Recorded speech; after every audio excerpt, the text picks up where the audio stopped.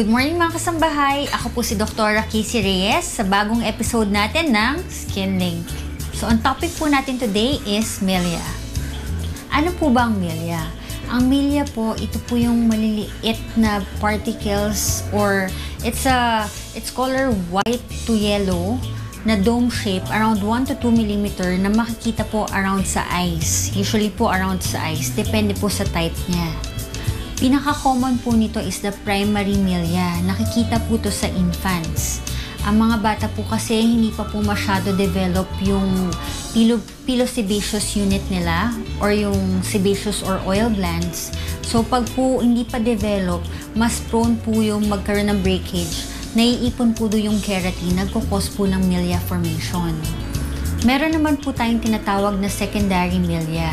Ito po yung mga milia na nagpo-form after trauma sa skin. Kasi po minsan pag may trauma sa skin, kahit sunburn or na nagkaroon po ng wound, nagpo-form po ng milia around the area dahil po nagkakaroon ng breakage dun sa sweat ducts or dun sa sebaceous, sebaceous glands. So dun po nag, nagko-cause ng milia formation. Meron din naman po tayong tinatawag na milia and plaque ito po yung sudden eruption ng milia sa periauricular area. Dito po. Tapos meron din naman po tayong tinatawag na eruptive milia. Ito po yung sudden outburst ng milia sa face, neck, at saka sa body. So, wala po siyang racial predilection. Ibig po sabihin, kahit po anong race nagkakaroon ng milia, okay lang din po, nakikita din po siya sa babae or sa lalaki. Pero minsan po, halimbawa dun sa sinabi ko po kanina sa eruptive milia, tsaka milia and plaque, mas common po siya sa females. So, paano po ba natin nadadiagnose ang milia? Usually po yung clinical appearance, sapat na po yan na diagnosis.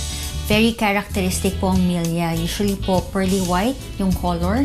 At the same time, around 1 to 2 mm and around, around the eyes, face, and nose po.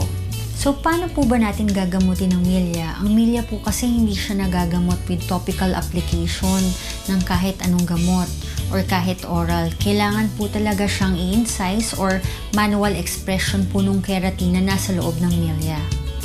So, si Anna po na dito for treatment ng milya. So, for her age, since she's 22 years old, this is secondary milya. So, konti lang po. Ang nakita lang po natin dito sa area na to, So, ang tatanggalin ko lang po, I'll be using a cautery para po makita yung, yung keratin. Tapos, after po nun, extract na po natin siya.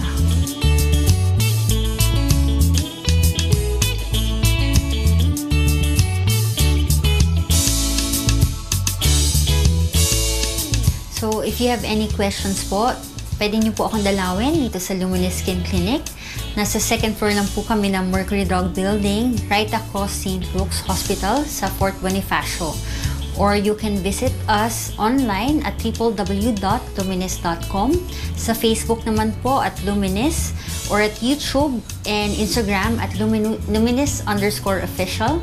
Or you can call us directly at 0917-979-4661 or at 02-511-8500. So magkita-kita po tayo muli dito sa SkinLink.